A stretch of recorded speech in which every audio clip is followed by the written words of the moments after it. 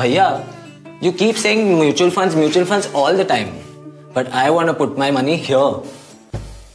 ये toothpaste packet में? Toothpaste company में। सोचो दुनिया में करोड़ों लोग फ़िलहाल ब्रश कर रहे होंगे। Just think how much must these mobile phones they sell as much as toothpaste these days सोचो कितना प्रॉफिट करते होंगे ये आया दादू।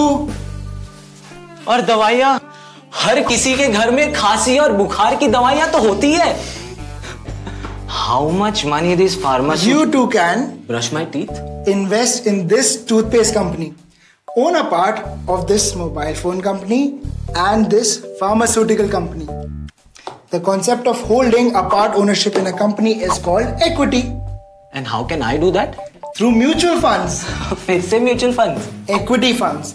Equity funds वो फंड्स होते हैं जो आपके पैसे इन कंपनीज़ के शेयर्स में इन्वेस्ट करते हैं. And when these companies make profits it benefits you too and of course when the companies don't do so well it's at your own risk भैया everybody brushes their teeth equity funds के बारे में कुछ और बताओ ना।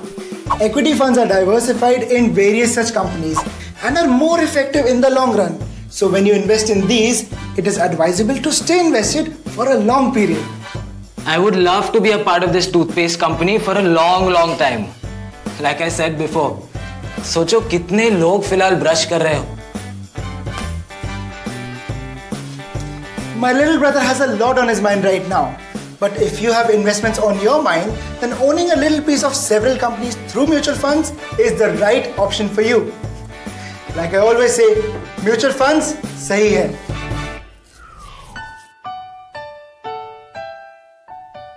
Mutual fund investments are subject to market risks. Read all scheme related documents carefully.